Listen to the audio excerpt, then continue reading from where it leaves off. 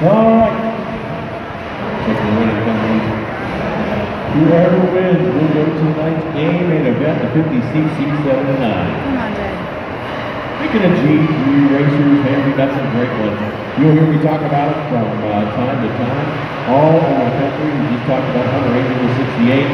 G3, racing, racing for best because they can. Here is the check it out, Gates drop, we are underway.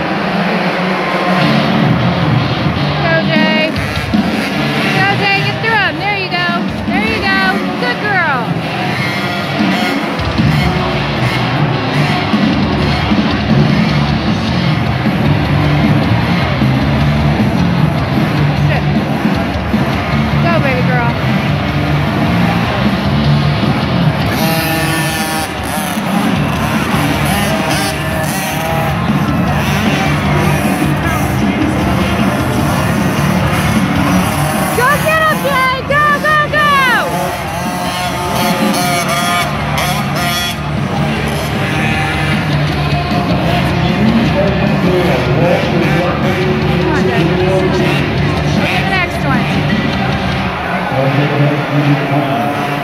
on, JC. Go get him.